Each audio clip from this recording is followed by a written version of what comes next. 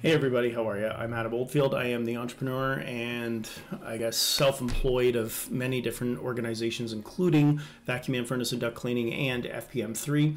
Um, I wanted to today go over an app that I discovered and has been around a while, but one that definitely has interest that we need to consider. First, it's called the Canada Business App. You can see on this website, the link will be in the comments area below. Um, I'm going to go through when you download it on an Android or an Apple, what it is that you get. So uh, let me show you, first of all, how you sign in.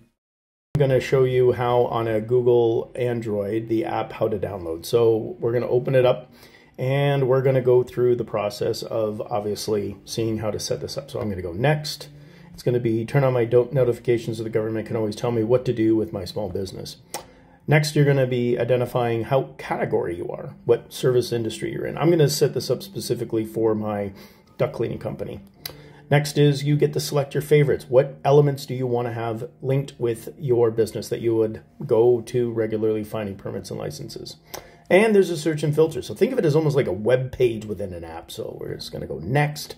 Ooh, a business assistant. Exciting. Nothing like having a government business automated artificial intelligent assistant. Uh, create my profile. Um, oh, and I only have to register by using my phone number. Awesome. Oh, and some feedback. So we'll get to say what we like about it later. All right. So let's go through here and see in our app, we've got obviously some categories. So uh, start my business, find my permits. It's almost like a little website within the app itself of services we have. So let's take a look particularly uh, more or less under support my business. Uh, ooh, we see grants and programs. Well, I know this is something that people want. Let's go grant. Um, this is great. I guess what it does is it identifies operational support. So this is where you can go in and see owns, particularly halls, rinks. Um, these are programs. This is actually pretty cool. So it's going to help a lot of businesses identify uh, programs that maybe are in their industry that are available that many people aren't taking advantage of. Um, so that's pretty cool. All right, so you can see these programs, particularly with COVID, and so you can roll and scroll into which one makes sense. It's got to add to your calendar, uh, notifying you of key dates, provin- provincially as well as industry, uh, how you can be impacted. All right. Um, ooh, this is a favorite. Look at this. Defer waive my taxes payments. uh, I'm guessing this is a CRA. So tax support, which we know from Ontario. Uh, the cost rebate program, and the small business pandemic relief program. Ooh, let's see what this is about.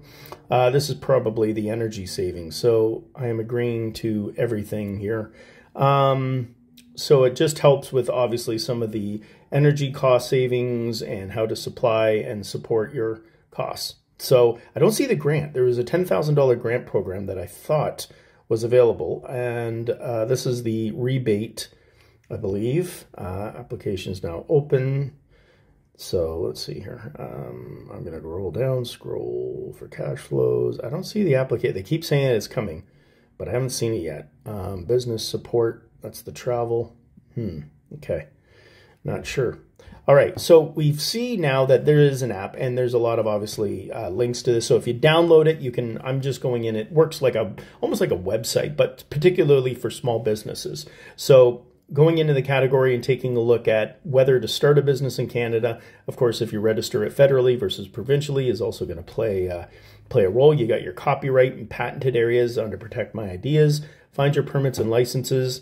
Oh, I bet you this is just great and a lot of work. Um, but anyway, this is uh, a new app from the Canadian government.